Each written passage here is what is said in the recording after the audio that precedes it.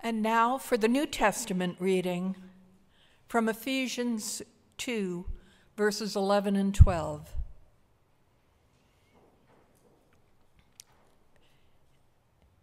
It's titled One in Christ.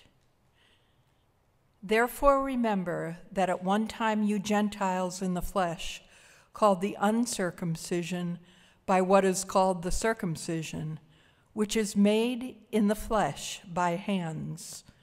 Remember that you were at that time separated from Christ, alienated from the commonwealth of Israel, and strangers to the covenants of promise, having no hope and without God in the world.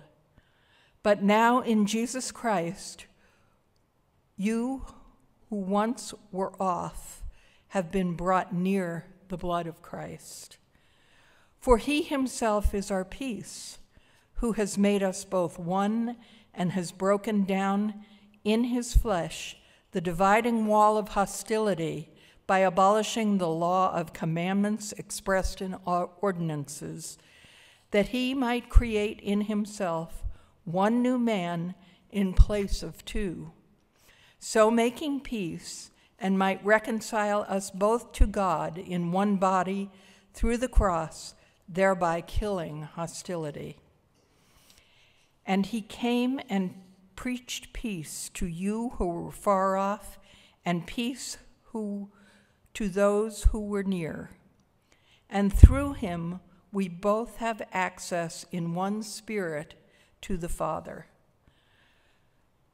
So then you are no longer strangers and aliens, but you are fellow citizens with the saints and members of the household of God built on the foundation of the apostles and prophets, Christ Jesus himself being the cornerstone, in whom the whole structure being joined together grows into a holy temple in the Lord.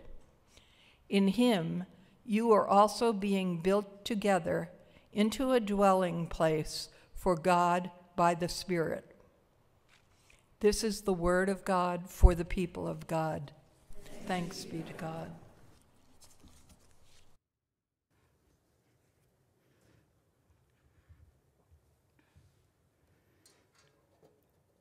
Breaking down the wall. Paul's third missionary journey found him in Ephesus. The city was famous for its beautiful temple, which had been de- dedicated to the beautiful pagan goddess named Diana. It's generally considered to be one of the seven wonders of the ancient world, as it was the epicenter of worship for Rome's various Greek and Romans gods, Roman gods. Paul had many missionary followers who were active in his ministry while he lived there for three years. Years later, during his imprisonment in Caesarea, he wrote this letter to Ephesus. He wrote the letter to Ephesians to encourage unity within their church. Paul begins the letter by praising God for his magnificent blessings, not only for his, but for everyone, for all believers in Christ. He reveals the astonishing truth that God chose Gentile believers to be part of his family before creation was even made. God's purpose has always been to unify people, creation, animals, and stars. All things in heaven and earth under Christ. And I believe that the Creator's plan was also to have a huge family a family through His Son, Jesus Christ. He proclaims a life altering truth here God's love extends to all, offering adoption into His family.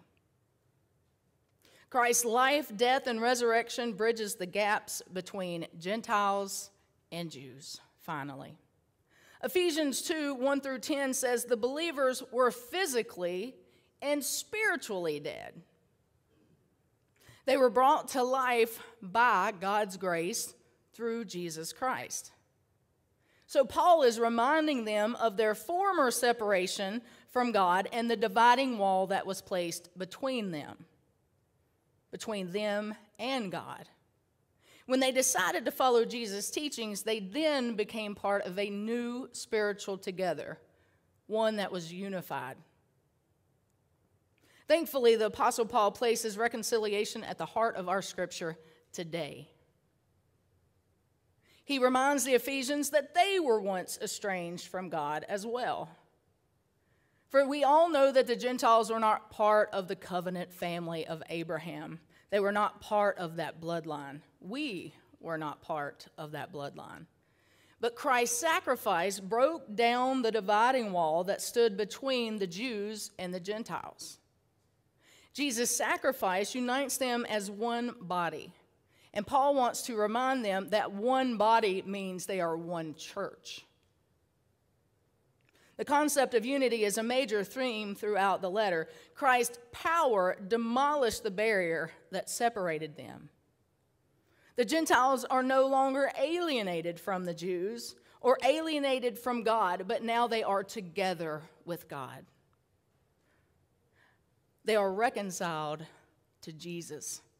Reconciled means that we once were estranged from God because of our sin, but Jesus has now brought us all back together because he took on the sins of the world. Dr. Wayne Grudem, a renowned New Testament scholar, theologian, and author, and a seminary professor of theology and biblical studies at Phoenix Seminary, defines the term. He says reconciliation signifies the remo- removal of enmity and the restoration of fellowship fellowship between two parties. I'll get there, guys. Grudem understands that humanity's renewed connection with God and the possibility of forging a deeper and more meaningful connection extends between one another. Jesus, the sacrificial lamb, took on the weight of everyone's transgressions, acting as the bridge that allows one to re enter into the fellowship of the divine because we were without the fellowship as Gentiles. Believers in Christ experience the joy and blessing of reconciliation and in turn become beacons of light, guiding others to reconciliation. Yet we were not mere tools of light, but we are disciples of Christ. We have been enlisted, we've been called and equipped to mend and repair damaged and broken relationships. Our mission extends beyond Christ. We are called to bridge canyons of despair and foster between enemies, to foster peace. The whole message of reconciliation is centered around God and the death of Jesus Christ. Paul urges us, each one of us, to confront the stark reality of our existence before Christ. Our relationship was broken Sin severed us from God's grace. The barrier between Jew and Gentile needed to crumble, not just for Gentiles, but for all of humanity. Apostle Paul's message is a wake up call, a stark reminder of the transformation that we receive through Christ.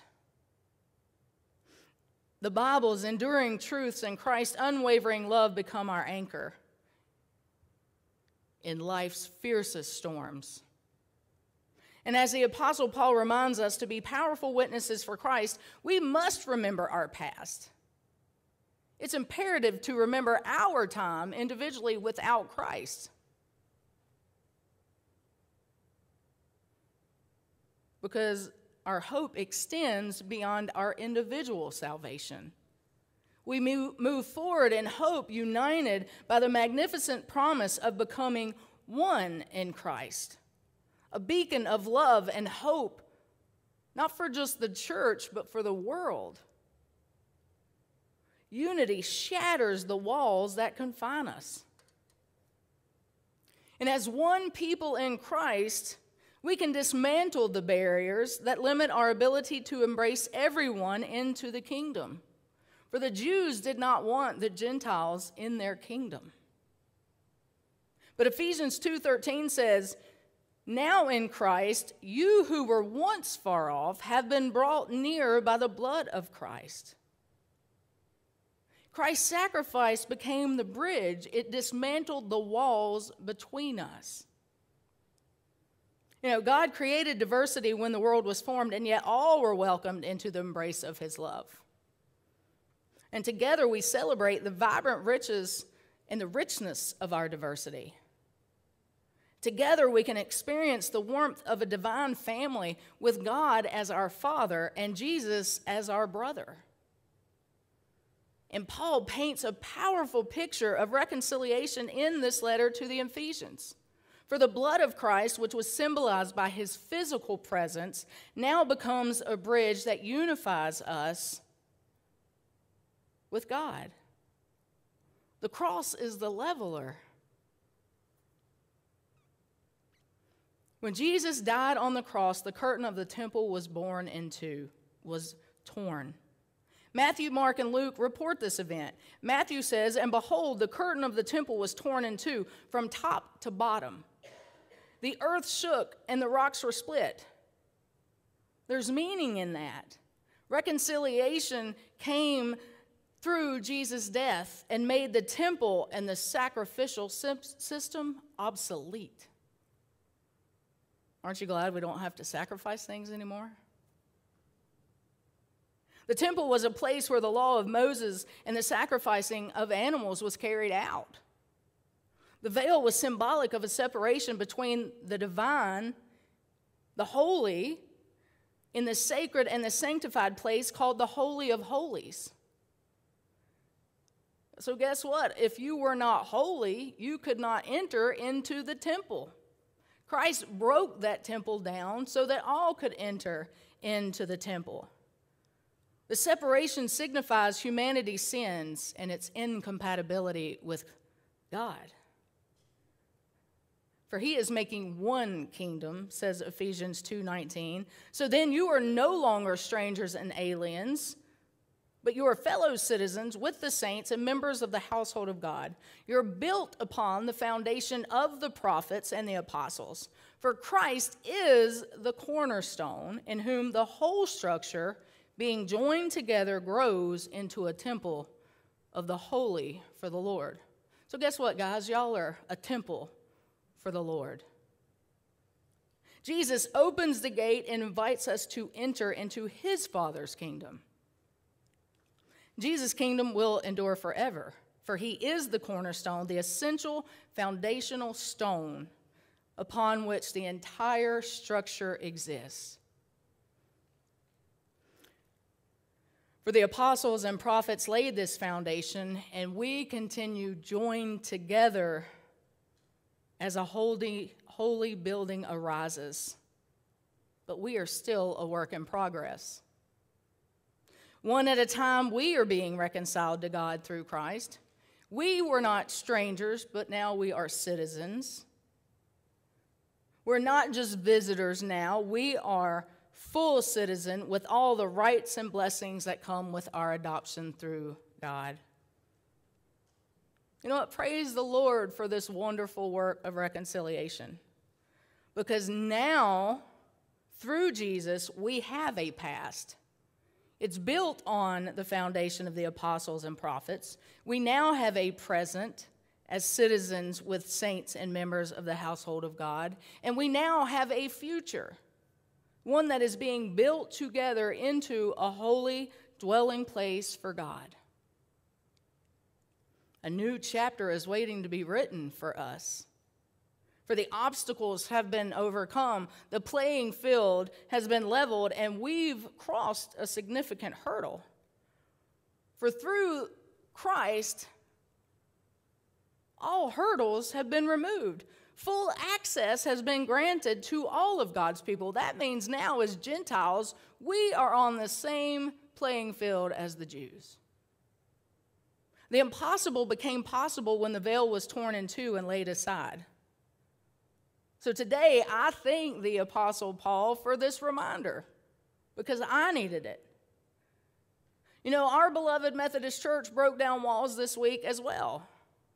A new expression of Methodism has emerged, one that says reconciliation has now began. But it's only begun. You know, I cannot say for 100% sure that the Gentiles felt the same way as the Jews because I'm sure they didn't. I'm sure that they felt hurt, left out, and probably less than the Jews, and honestly, we were. They must have felt like second class citizens compared to the chosen people. I'm sure all of us have felt that way at one time. Amen. But I believe Paul was right when he said that we are all one in Christ. We are all re reunited to him through his blood. And when we come together and when we seek unity, the impossible becomes possible. When we come together as one, God's kingdom radiates within us. And I can honestly say that knocking down walls brings freedom to my heart. And today, my friends, my heart finally is free. I want to give you a quote from Bishop Karen Oliveto as she preached this week at General Conference. She says, and I quote, We cannot be the church if we choose to overlook some members of the body of Christ. If we define who we are by who we are leaving out, it begs the question have we ever really let Christ in? I think that's what Paul is talking about when he told the Ephesians to break down the walls that are dividing and separating them, not only as people, but as the church. Amen.